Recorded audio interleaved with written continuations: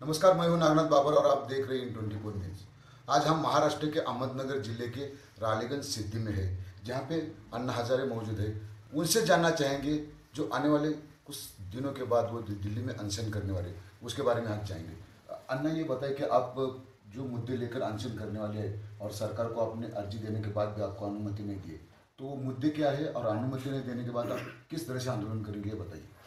मुद्दे पहला तो किसान का प्रश्न है। किसान को खेती पैदावारी में जो खर्चा करता है किसान, खर्चा पर आधारित दाम नहीं मिलता।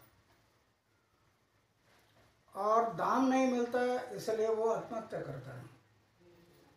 हमारी मांग ये है, जैसे स्वामीनाथन कमेटी का रिपोर्ट है। अभी इलेक्शन के टाइम पर इन्होंने आश्वासन दिया था कि हम स्वामीनाथन कमेटी का रिपोर्ट लागू करेंगे। अभी लागू नहीं कर रहे। उसमें क्या है? किसान खेती माल, खेती उपज के लिए जो खर्चा करता है, उस पर 50 प्रतिशत दाम बढ़ाकर मिलना चाहिए। आज वो नहीं मिलता, इसलिए आत्महत्या करता है। क्यों नहीं मिलता? तो हर राज्यों में कृषि मूल्य आयोग है। वो सरकार के अधीन है। वो हर कृषि के उपज का मूल्य निश्चित करता है, कम आयोग भेजता है और केंद्र में चालीस पैंतालीस पचास प्रतिशत कटौती करते हैं। पचास प्रतिशत कटौती करने से कैसे दाम मिलेगा? हमारा कहना है कि जैसे चुनाव आयोग है, वित्त आयोग है, ऐसे कृषि मूल्य आयोग, इसको स्वायत्तता दे दो, संवैधानिक दर्जा दे दो, सरकार से उसका कंट्रोल है ना, उसको निकालो। और स्वायत्ता देने से फिर किसान का मूल्य सही वो निश्चित करेंगे। आज 40-50 प्रतिशत कटौती करते कहाँ से मिलेगा? अभी विदर्भ है, मराठवाड़ा है। कपास का पैदावारी ज़्यादा है। अभी कपास में कितना कटौती किया? 51 परसेंटेज जो यहाँ से मूल्य निश्चित करके भेजा उससे 51 परसेंटेज कटौती। कैसे दाम मिलेगा? ये सरकार का कंट्रोल निकालना चाहिए। और स्वायत्तता देनी चाहिए। और फिर किसान जो एक्सपर्ट किसान है, वो भी वो आयोग के ऊपर ले लो, वो भी सजेशन दे देंगे। और जो टेक्निकल लोग हैं यूनिवर्सिटी के लोग हैं, सभी एग्रीकल्चर तो ऐसे लोग। दूसरी बात है कि कृषि उपज का जो मूल्य हम निश्चित करते हैं साथ साथ हमें ये देखना है, बिक्री का मूल्य निश्चित करो। जवार का बिक्री का मूल्य क्या होगा? गेहूँ का क्या होगा? चावल का क्या होगा? सोयाबीन का क्या? मूल्य बिक्री का निश्चित करो। और बिक्री का मूल्य निश्चित करने के बाद अगर कोई मूल्य का कम खरीदी करता तो वो गुनाह किया। ऐसा उसको गुना मारो। या मूल्य अगर कम मिल गया किसान को तो सरकार ने भरपाई करके दे दो। ये हमारी जो मांग है, किसान के लिए खेती माल को, दूसरा है कि साठ साल की उम्र हो गई। उसके घर में आया नहीं है कोई। अभी साठ साल हो गई, उसको खेती की भी पैदावारी नहीं है। ऐसे किसान को हर माह पाँच हज़ार रुपया पेंशन मिलनी चाहिए। क्योंकि संविधान कह रहा ना कि जीने का हक हर हर व्यक्ति को है। और जो व्यक्ति जी नहीं सकता, उसकी ज़िम्मेदारी सरकार की है। और किसान पेंशन बिल पड़ा है संसद में। उसकी उनको ज़्यादा चिंता नहीं। इनको चिंता है नोटबंदी जीएसटी इसकी चिंता ज़्यादा है। बिल पड़ा है, किसान पेंशन बिल, उस पर सोच नहीं करते। और इलेक्शन से पहले उन्होंने आश्वासन दिया, यही नरेंद्र मोदी जी, कि हम सत्ता में आते हैं तो 60 साल की उम्र वाले किसान होंगे, उनको विशेष योजना हम अपनाएँगे। ऐसा आश्वासन दिया, और आज लागू नहीं कर रहे तो इसलिए ये मांग को लेकर हम लोग आंदोलन कर रहे हैं। आपको तो आपने जो पत्र दिया था जहाँ आंदोलन के लिए बैठने वाले उस जगह के लिए लेकिन उन्होंने अभी तक कुछ जवाब नहीं दिया तो क्या करेंगे? अभी क्यों नहीं दे रहे ये भी प्रश्न है। चार महीना चार महीना से पंत प्रधान को पत्र लिखा गृह मंत्री राजनाथ सिंह जी को पत्र लिखा। पुलिस कमिश्नर को पत्र लिखा। हाँ ये सबको पत्र लिख रहा है, चार महीना हो गया अभी तक तेरह चौदह पत्र हुआ हाँ, तो अभी तक उन्होंने जगह नहीं दी। अभी कल का पत्र मैं पंत प्रधान को लिखा। अगर आप जानबूझ के जगह नहीं देने वाले होंगे तो मेरा सत्याग्रह जेल में शुरू हो जाएगा। ऐसा लिखा अभी। अभी क्या करना वो सोचेंगे इतने सारे पत्र देने के बाद भी सरकार की तरफ़ से कोई जवाब नहीं आया है। आखिरकार अन्ना जी का ये कहना है कि अगर जो पत्र अभी मोदी जी को देने वाले, उसके बाद अगर जवाब नहीं आता है तो आने वाले समय में जो आंदोलन होगा, वो जेल में होगा। अहमदनगर रालीगंज सिद्धि से Nagnath Babar in twenty four news Raliganj Siddhi त्याचं वय झालं त्याच्या घरात कोणतं इन्कम नाही आहे आणि आमची घटना काय म्हणते? प्रत्येक माणसाला जगण्याचा अधिकार आहे. आणि जगण्याचा अधिकार असून ज्या माणसाला जीवन जगता येत नसेल त्याची जबाबदारी सरकारची आहे. म्हणून साठ वर्ष ज्या शेतकऱ्याचं वय झालं त्यांच्या घरामध्ये इन्कम नाही आहे अशा शेतकऱ्याला दरमहा पाच हजार रुपये पेन्शन मिळाली पाहिजे.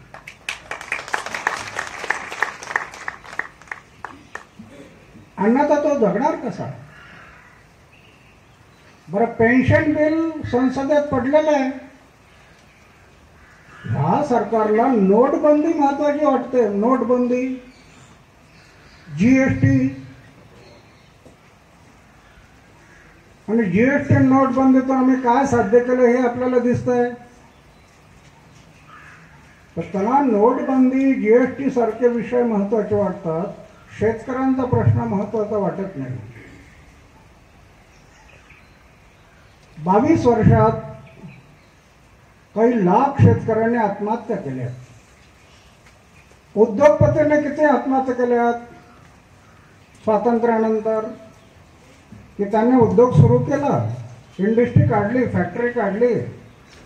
त्यातलं जे प्रोडक्शन येत आहे त्याला भाव मिळत नाही म्हणून उद्योगपतीने आत्महत्या केल्या. काही उदाहरण आहे? शेतकऱ्यांची उदाहरणं मग असं का घडतं? ह्या शेत सरकारला जेवढी चिंता उद्योगपतीची आहे तेवढी शेतकऱ्यांची नाही म्हणून घडत आहे. शेतकऱ्यांची चिंता नाही आहे.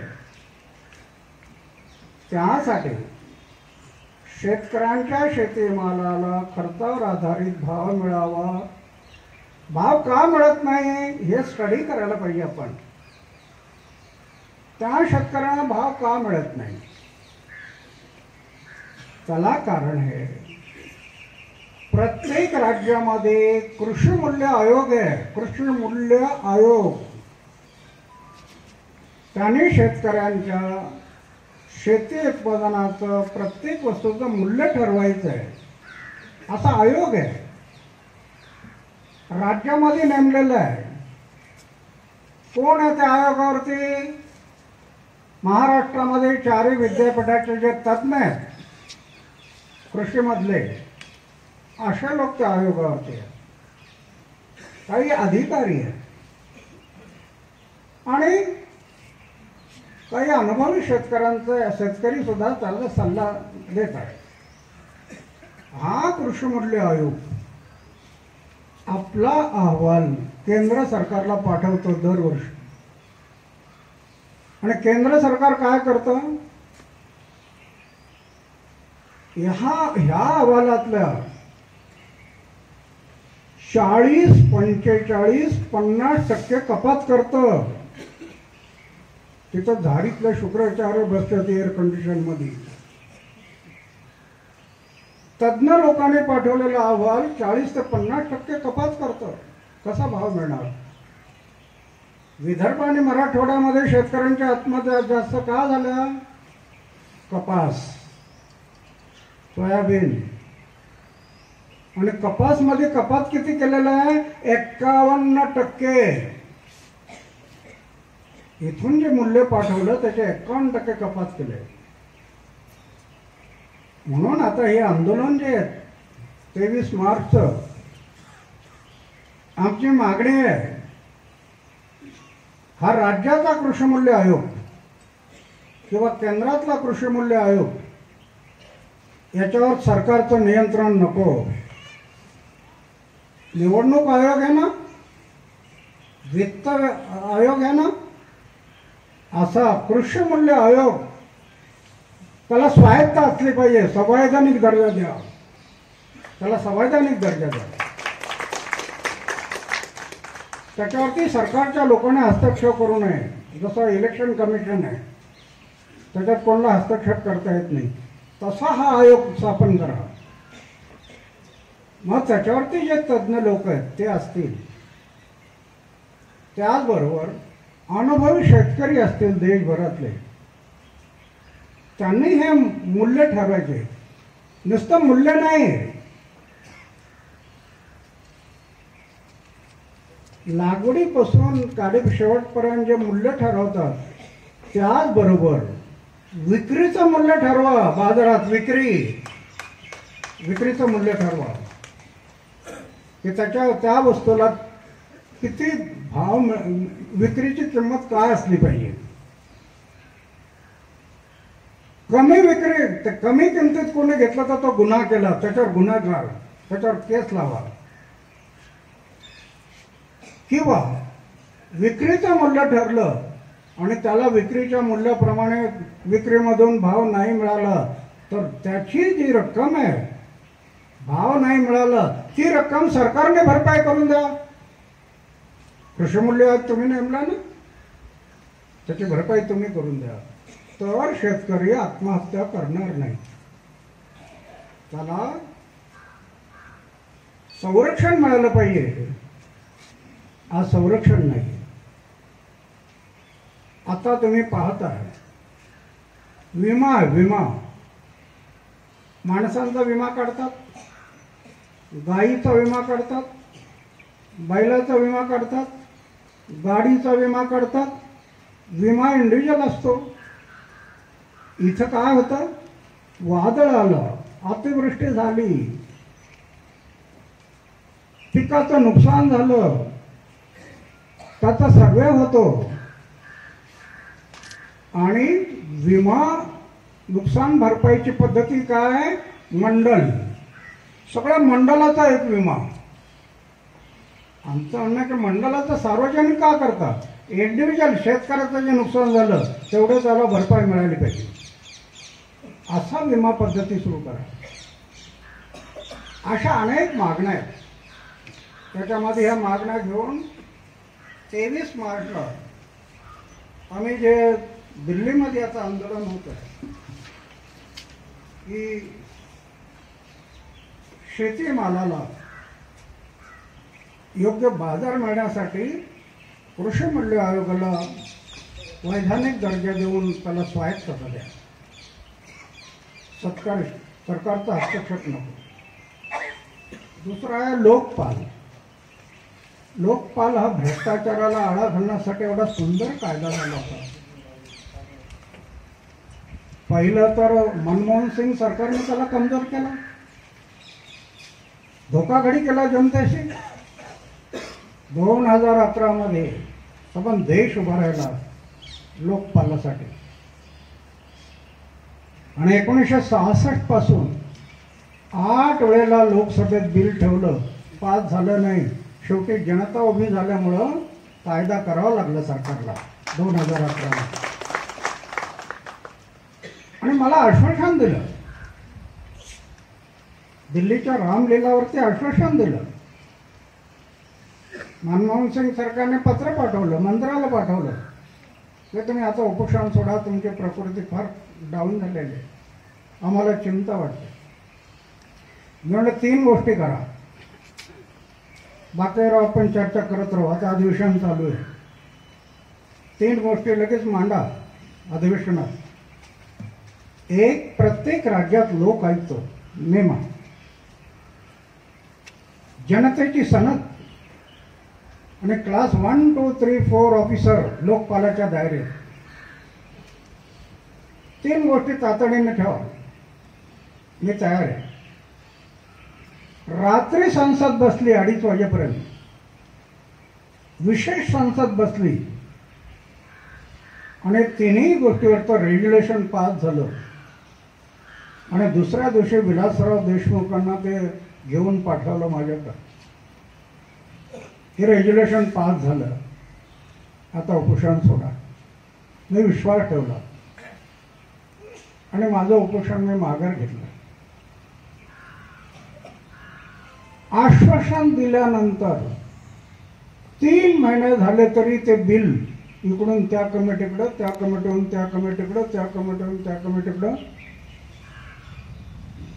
कायदा व्हायला तयार नाही. राळेगणमध्ये आंदोलन सुरू झालं. पुन्हा देश उभा झाला.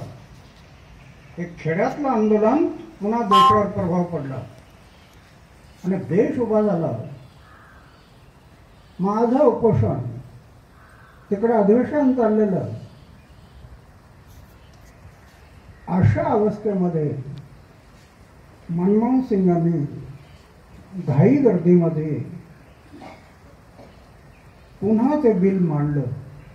काय केलं? धारा सिक्स्टी थ्री धारा सिक्स्टी थ्री कायद्याचं काय होतं?